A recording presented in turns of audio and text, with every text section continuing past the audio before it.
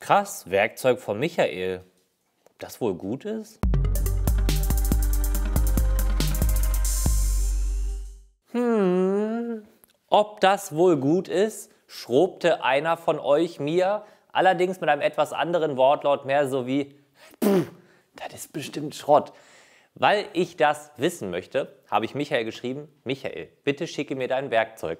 Ha, da ist es, denn wir wollen einmal anschauen, was kann Michaels eigenes Werkzeug. Zuallererst mal, ich finde es krass, dass er das hat.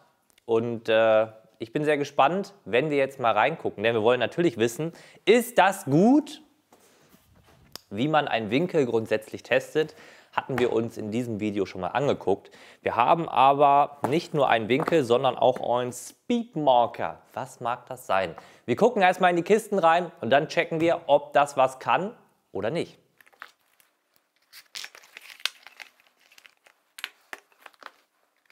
Ups. Ups. Zuallererst mal habe ich leider einen der Kartons ein bisschen zer... Oh. Ich habe beide Kartons zerschnitten, macht aber nichts, denn es geht eigentlich nur darum zu sagen, das Ganze ist gut gepackt, äh, verpackt und gepolstert. Das ist ja wichtig, hatten wir schon mal gesagt. Wenn ich ein Werkzeug, was in irgendeiner Art und Weise präzise ist und bleiben soll, gut verschicken will, dann muss es natürlich gut gepolstert sein, denn wenn ich den jetzt hier auf die Tischkante smashe, ist er wahrscheinlich nicht mehr präzise. Eine Feststellung, die mir direkt in den Kopf kommt. Hm, sehr ähnlich. Aber äh, jetzt muss man natürlich hier dazu sagen, das ist natürlich die Farbe von Let's Bastles Logo und äh, rot eloxiert, ja, sieht halt nun mal so aus. Ich nehme mal an, dass es eloxiert ist. Ich glaube, das stand auf der Website. Wir wollen nicht über das Rot meckern, denn wie gesagt, es ist nun mal seine Farbe. Wenn ich einen machen würde, wäre er wahrscheinlich grün. Wir wollen gucken, ist, also zuallererst mal ist das Handling ziemlich nice. Ähm, ist er präzise? Und dann gucken wir uns den Rest an. Und auch das Details. Aber wir wollen nicht Details angucken, wir wollen gucken, passt der Winkel, passt der Speedmarker. Eins, zwei, drei, los. Wir starten mit dem einfachen Umschlagtest, was hier sehr einfach ist, weil wir auch hier diese ja, Aufdopplung haben, dass wir also den Winkel sehr gut hier einfach ablegen können, ohne dass wir ihn festhalten müssen.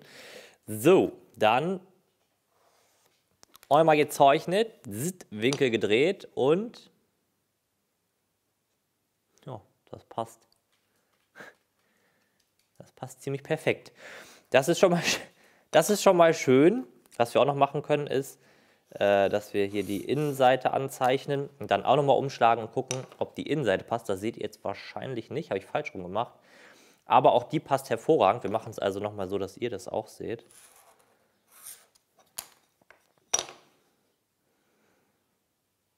Dort ist top.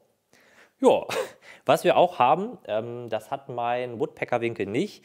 Wir haben hier auch so eine 45 Grad ja, Markierung. Die Fläche ist natürlich recht gering. Also ich weiß jetzt nicht, ähm, mal gucken, wie gut sich das so anlegen lässt. Das geht schon. Was schön ist, die Ecke hier ist genau da, wo es ausläuft. Um das jetzt zu kontrollieren, nehmen wir ein anderes Werkzeug, ähm, was in dem Fall 45 Grad hat. Das können wir auch so machen, dass ihr das seht, falls ihr denn die Linie seht. Alter, selbst das passt. Crazy. Können wir nochmal in die andere Richtung gucken. Ja, eine kleine Macke. Schade. Das ist schade. Aber so ist das im Leben.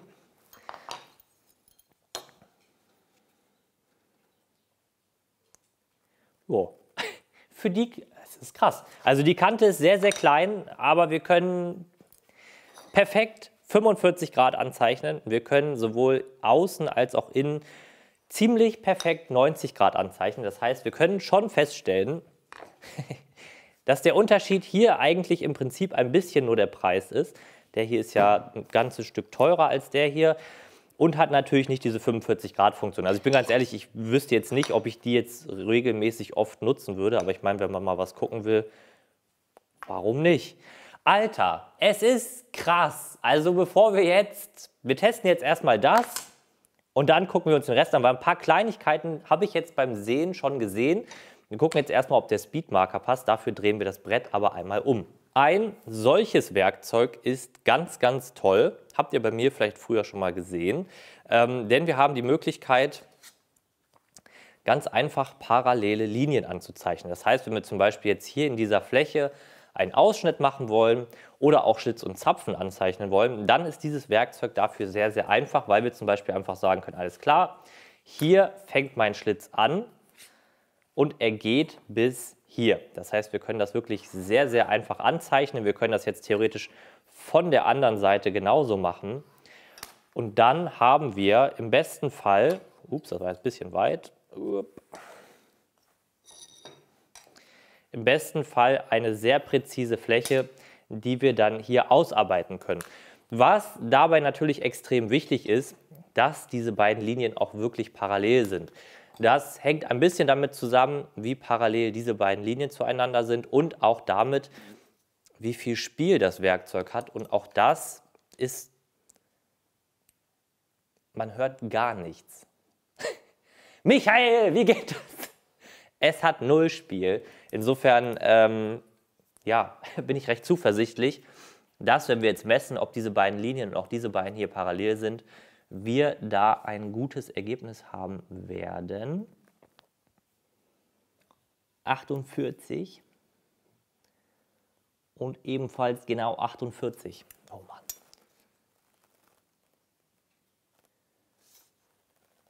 Und zweimal. Oh.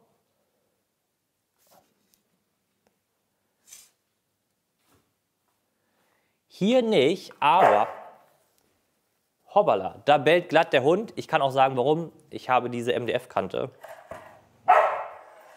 nicht abgeschnitten. Es ist natürlich wichtig, das Messutensil oder das, womit man überprüfen will, vorher zu testen. Also wenn wir so eine Kante wie hier beim MDF nicht abschneiden, dann ist die meistens sehr fusselig. Insofern, äh, ja. Das sollte man natürlich vorher testen, weil sonst kann man es natürlich auch nicht richtig machen. Wir machen das jetzt einfach nochmal so, dass wir jetzt hier ein paar Linien in völlig frei gewählten Abständen ziehen und dann noch einmal drüber messen. Aber wie gesagt, das Ding hat überhaupt kein Spiel. Insofern äh, bin ich auch da ja, nicht nur positiv überrascht, sondern im Prinzip auch begeistert. Aber jetzt gucken wir nochmal. Das sind ups, 17. Und das auch. Das sind 19 Dreiviertel. Und das auch. Mano! Also, zuallererst mal, für alle, die sich fragen, kann man das benutzen? Alter, auf jeden. Es, ist, es sind sehr gute Werkzeuge. Der Winkel passt perfekt. Der Speedmarker macht genau das, was er machen soll. Theoretisch gesehen sehe ich gerade, hat er hier auch noch 45 Grad. Ich weiß es nicht. Also wir gucken jetzt aber zuallererst mal das an, was äh, mir auffällt. Und das ist ein bisschen die Druckqualität hier der Zahlen. Also wir sehen zum Beispiel bei der 40, da fehlt ein bisschen was bei der 20 auch, bei der 140 auch, bei der 150 auch. Und auch bei der Skala an sich sehen wir, dass es da minimale Mess- bzw. Ja, Strich-Ungenauigkeiten gibt. Wenn wir das jetzt neben diesen Winkel hier halten, dann ähm, ist hier die Qualität, der ist natürlich schon ziemlich abgedunkelt im Vergleich zu dem über die Jahre, dann ist die Linienqualität etwas besser. Jetzt muss man aber natürlich auch sagen, dass das hier ein Woodpeckers Winkel ist, also von einer sehr großen Firma. Und dieser Winkel ist von Michael Truppe, der gefühlt einfach, weiß ich nicht, ein Freund von mir ist und in Bayern wohnt. Und das ist einfach krass. Das heißt, äh, im Prinzip vergleicht man hier Äpfel mit Birnen, stellt aber fest, dass bis auf so Kleinigkeiten wie Druckqualität das im Prinzip die gleiche Präzision hat. Und das finde ich ja überraschend. Ähm, und wenn ich ganz ehrlich bin, also für diese Linien habe ich oder für die Skala hier habe ich in der Regel gar keine Verwendung. Also ich habe noch nie bei diesem Winkel mit diesen Zahlen hier angezeichnet. Dafür würde ich in der Regel immer eher so ein Werkzeug nehmen. Das ist der kleine Starrett-Winkel. Und eine kleine Info noch am Rande. Dieser Starrett-Winkel und dieser Winkel von Michael kosten in etwa gleich viel. Das heißt, das ist eine Preisrange und das können wir vergleichen. Und das Interessante ist, den hier würde ich nicht nochmal kaufen. Und der Grund ist relativ einfach. Keine dieser Kanten hier ist in irgendeiner Art und Weise gebrochen. Die sind so scharf, dass man sich schneiden kann. Und zwar alle.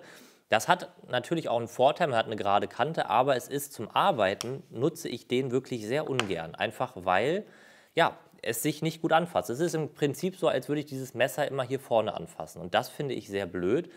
Das ist bei diesem Winkel überhaupt nicht so. Hier gibt es keine scharfen Kanten. Die Kanten sind klar, aber es fühlt sich trotzdem sehr, sehr gut an und ich kann das Ding benutzen, wie ich will, ohne dass ich Angst habe, dass ich mich schneide. Und wenn ich die beiden also vergleiche, dann würde ich diesen hier einfach direkt mal aussortieren. Der hat zwar eine Funktion, die dieser Winkel nicht hat, ich kann das hier verstellen, aber wie gesagt, von der Verarbeitung her gefällt mir dieser Starrett-Winkel überhaupt gar nicht. Und das ist ein bisschen krass, weil auch das ist eine große Firma. Der hier gefällt mir dafür sehr, sehr gut, muss ich ganz ehrlich sagen.